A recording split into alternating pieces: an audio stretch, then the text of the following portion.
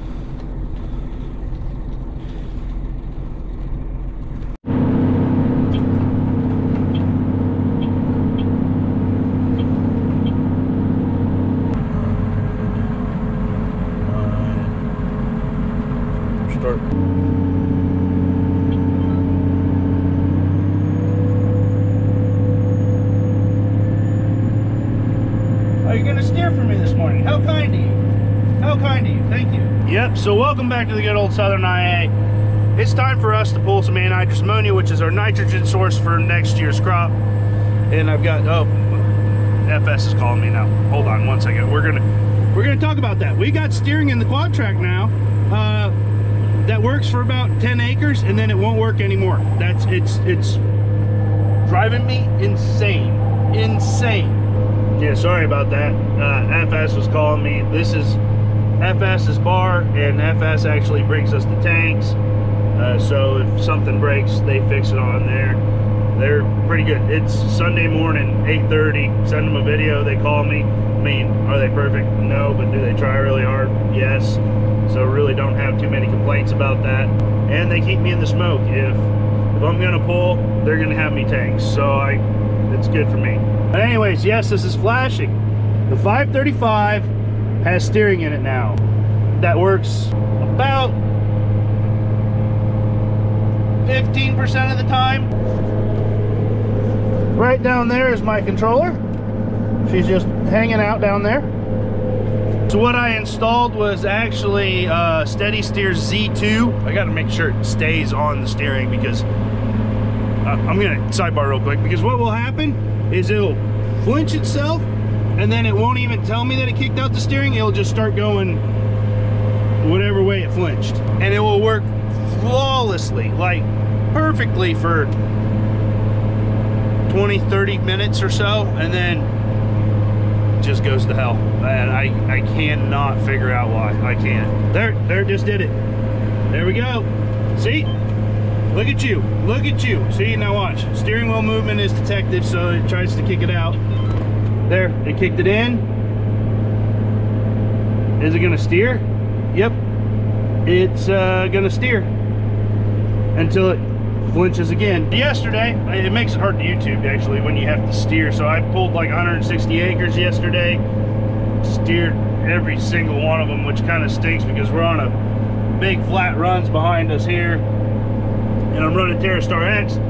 So I want to be able to pull directly on top of my anhydrous ammonia. That's causing me issues. Anyways, so back to this. So this is my first, if you guys didn't know, I'm actually an ag leader dealer. This is my first hydraulic steering install that I've done.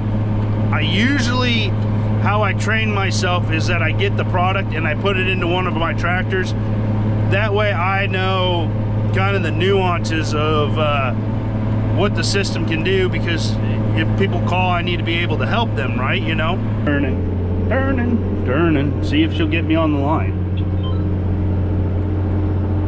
Look at that. Smooth operation. For now. So, set it up, did the calibrations, things worked good. Pulled for a little while. Started giving me issues. I actually reached out to another ag leader dealer, uh, Evan Watson. I think it just screwed up again. Did it? Nope, not yet. You guys watch Brian's videos, they call him Dr. Watson. To see if he'd heard anything like this, because that's how you learn a lot of these things, is you run into the problems and then you know how to fix them. And I've just been banging my head against the wall. It's, it's, I can't figure it out, how something works perfectly and then decides not to. I, it just doesn't make sense. This did have green star in here. I'm almost wondering if I was just been better off to buy a John Deere receiver globe and uh, put a brown box or something like that in here for steering. I don't know. I probably should have done that. Probably should have done that, but I like Ag Leader stuff. I really like Ag Leader stuff. Uh, that's why I wanted to go this way.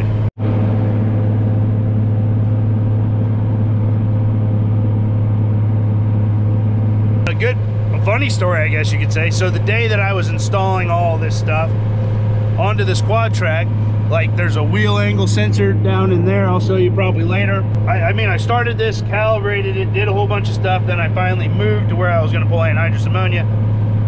I didn't have a battery in the gopro and that was a mistake they're on the charger which dangles right there for you guys. And uh, i'm going down the road. And they i mean i've been around this tractor all day and i'm going down the road. And right there out comes this furry thing no joke. Just comes right out of the hood. A goddamn raccoon was under the hood all day when I was installing this stuff. And I mean, it took me probably two, two to two and a half, uh, probably two hours to do all this. And there was a raccoon just sleeping under this hood. I checked the oil. I didn't pull the hood open. Going down the road, 20 miles an hour, out comes this raccoon, rings out right there, and it's like, oh crap, scares me, right? You know? I'm gonna grab the GoPro because I'm like, this isn't gonna be good for this raccoon no battery, so you guys couldn't record it. So you guys don't get to see it, you just get to hear about it.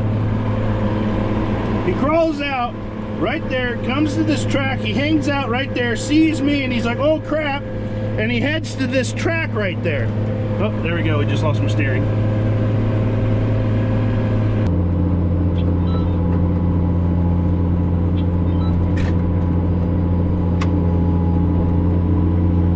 And he heads to the ladder right there.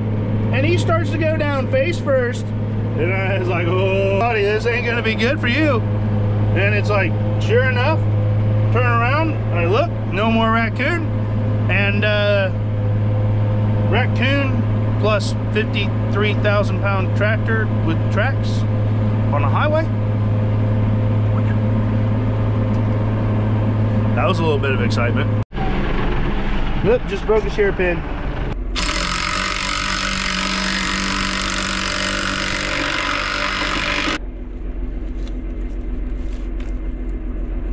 Hey, I am out of gas. I'm doing about 40 acres per set of tanks right there. Uh, we'll give you the rundown on how this bar works and uh, just show you a couple of things. So what we need is our rubber gloves and then I choose between my mask or goggles.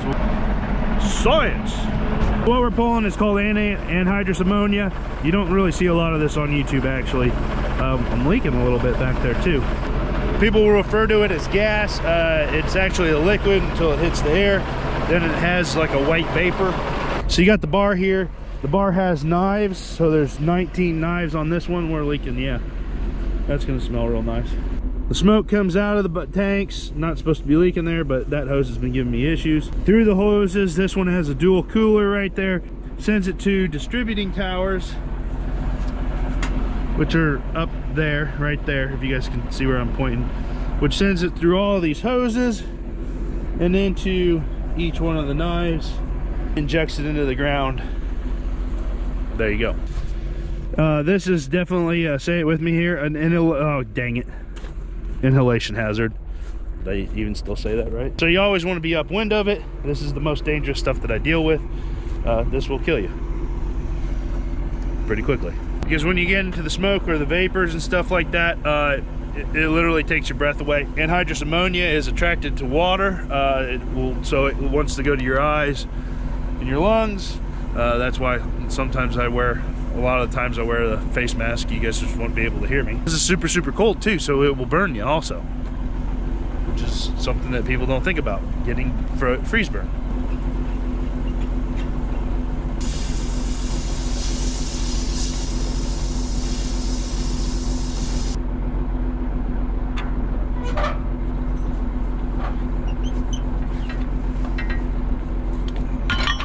If this stuff's so dangerous, why do you use it? This is 82% nitrogen. So 82% of the volume is nitrogen. So that's the higher, one of the highest sources, if not the highest source of nitrogen that you can get to apply. It's stable in the soil. It will bond with the soil until it's converted to a nitrate. So the plant can use it. So why are we pulling it on during the winter or getting cold? Well after the ground freezes or gets below a certain temperature it just basically won't convert to the nitrate. So it's stable here along with the fact that we put N-Serve in the ground which is the nitrogen stabilizer. So this is a really good way for us to put our nitrogen on. Our ground can hold all the nitrogen in one pass for the year. Um, if you had the option to I think that it's better to apply nitrogen multiple times throughout the year. Uh, but if you look at our fields which this is one of our bigger square fields.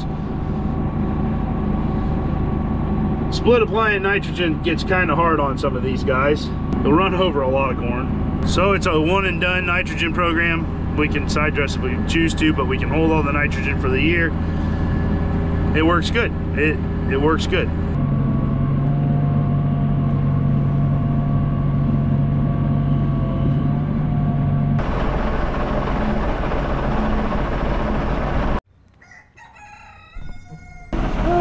Perfect timing for you guys to come back.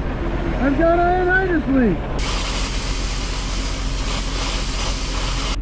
My guess is it probably split a no. Well, no, this is the tank that I said needed new O-rings. They're empty. Anyway.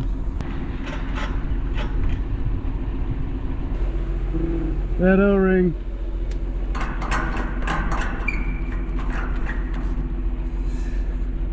Ugh.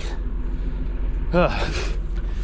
These masks, these masks work good. They protect my face, you know, and like direct inhalation of the anhydrous ammonia. Because if I was standing there by that tire, I probably wouldn't be able to breathe right now. So you're always playing the wind. But you just saw how much like smoke vapor and stuff like that's created when you get a leak so say a hose breaks, a fitting breaks, um, anything that can happen, you know, it's a liquid. Just like imagine if you had like a water hose on your sprinkler. Same system basically. Oh yeah, and then your hose is under pressure too. This mask, you don't really need to wear one of these. Um, like a lot of the times I'll just wear goggles and stuff. Like I have seen ones where it's like got the face protector in the goggles, that'd be nice what happens is, is these cartridges get into the ammonia and every breath I take in this has ammonia flavor to it. We're down to our last 100 acres anhydrous. You guys are gonna be rolling with me the rest of the day. We're doing about 40 acres an hour when we're moving. When we're busting a bunch of shear bolts, we're doing more like no acres an hour. And unfortunately, I think a lot of the ground I got left is high shear bolt and breaking bullets. Yeah. We've got our next set of tanks right there. They'll have to bring me two more tanks after these. One, no, they'll have to bring me another one more tank. And I guess a good time is any when you divide these videos up and you start again. Um, if you guys made it this far, hey, I don't ask a lot. Hey, hit that thumbs up button. We are getting pretty close to 50,000 subscribers down here in Southern Iowa. That'd be a pretty nice goal to meet by the end of the year. Uh, I'd really enjoy it. Maybe I'll bundle it up, take it to Vegas, put it on red and see if we can double it to 100. I, I don't think it works that way, but you can always try. So, anyways, shameless plug. Take a second for me, please. Hit that thumbs up button. Right blue dog. Right blue dog. Yeah.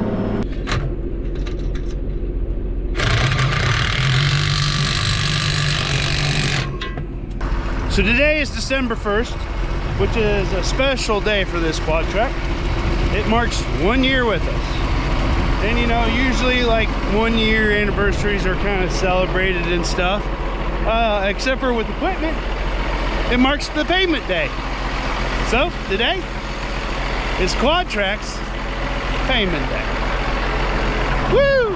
And so at the end of the year, I'll probably have put uh, 400 hours on it, which is 10 40 hour weeks, interesting, I guess, way to think about that. So far, other than my steering not working, pretty happy with it. I think I might have that figured out. Uh, I think maybe the solenoids on top of the steering valve are getting hot and not working.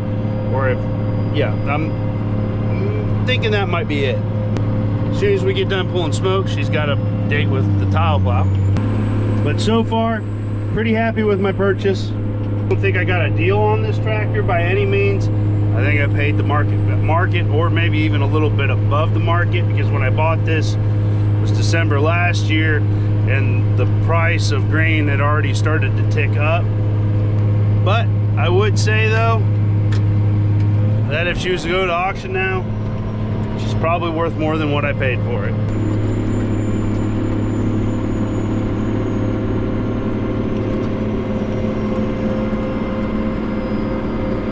So at this point, would I make the purchase again on the quad track?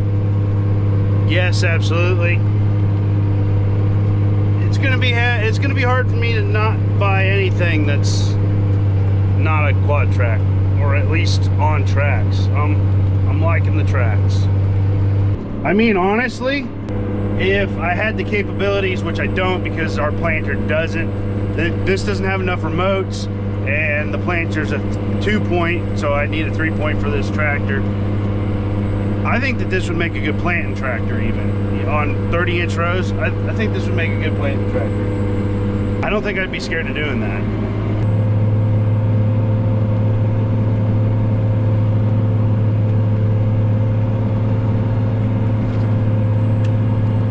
but the New Holland will be planting next year and this one will be on tillage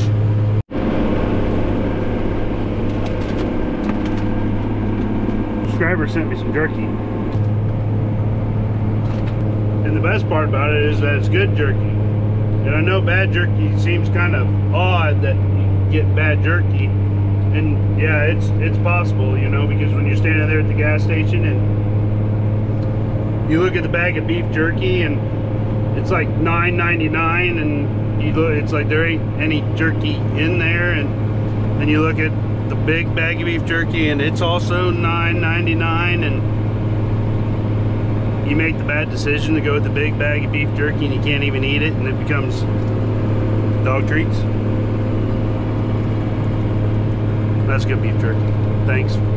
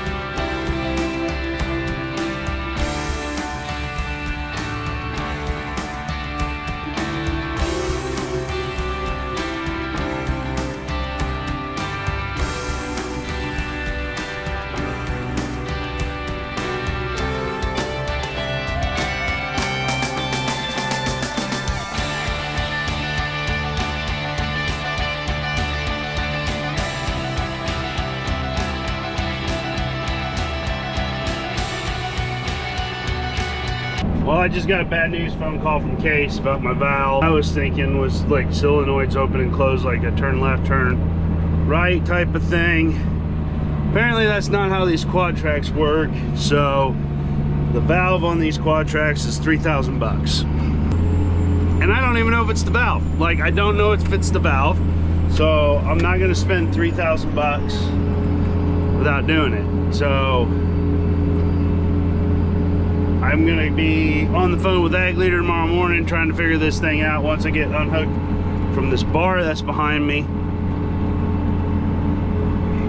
If there's anybody in the area near me, knows where I'm at or something like that, uh, happens to have a Green Star display and globe that I can borrow for an afternoon to put in my quad track and see if it steers because that's what was in here before uh, to eliminate that fact that it's an issue with the tractor.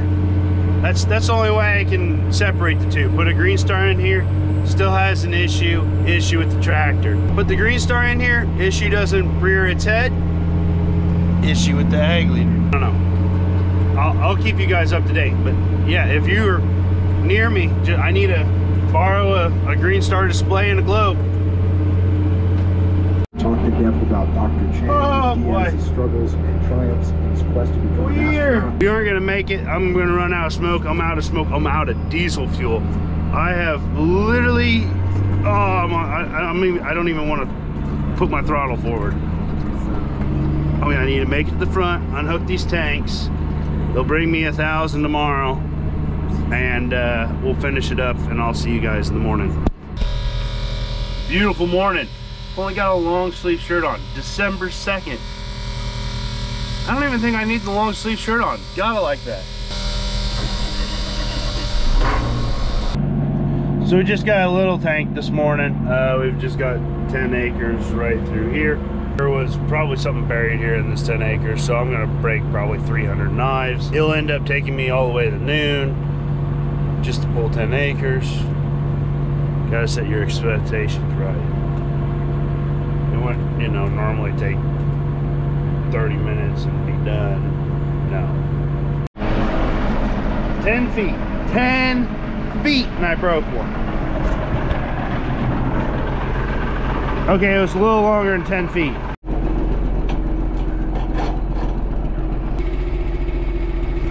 So as I fix this, so this, this, this, this, this.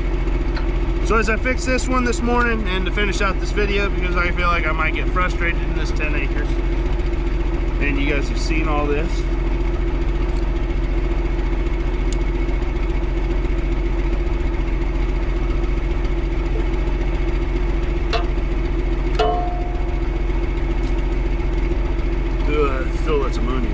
People have wondered what a fertilizer price has done. So this is nitrogen, uh, which we've talked about earlier in the video. Last year, I think we paid right around $400 a ton. oh, that's about, whoa.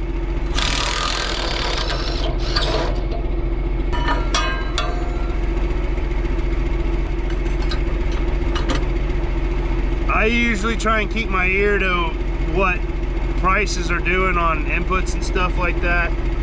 And I'd heard rumblings that there was a chance that full anhydrous prices might reach $1,000 a ton. We decided to pull the trigger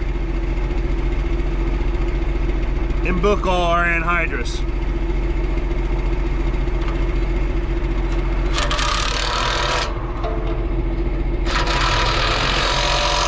There comes some risk with doing that. Obviously the price could go down.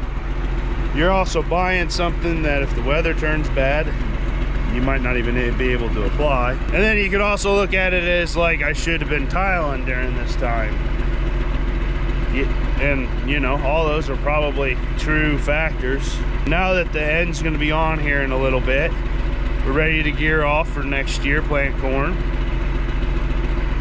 It worked out that we booked it this year. It hasn't quite doubled since we booked it but it's getting pretty close. Makes you feel bad for guys that don't have any end down. I, if I'm staring at like renting some more ground and stuff like that that's got to have corn on it and $1,500 ton anhydrous maybe even more in the spring. Who knows? Maybe less. Hopefully less.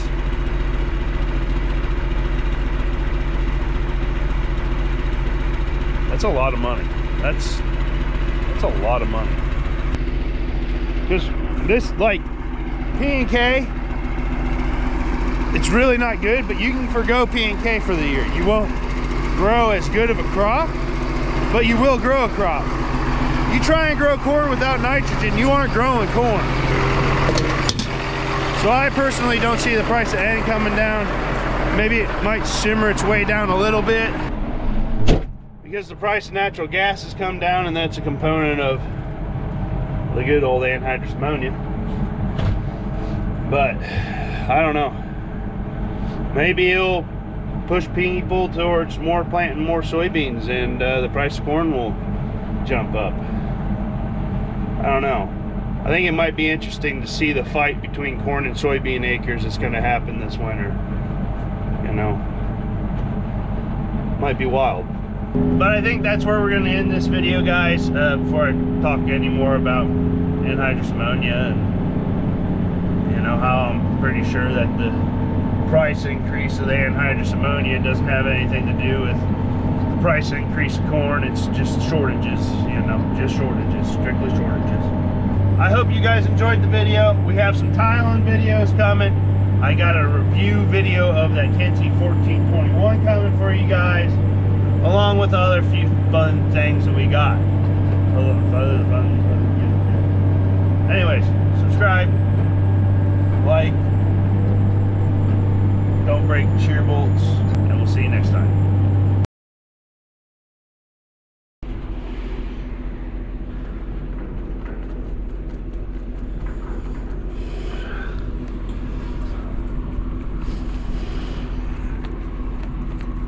But hey, look, look, look, look. That's new. That's new. Inside one's new. She'll spin the earth now.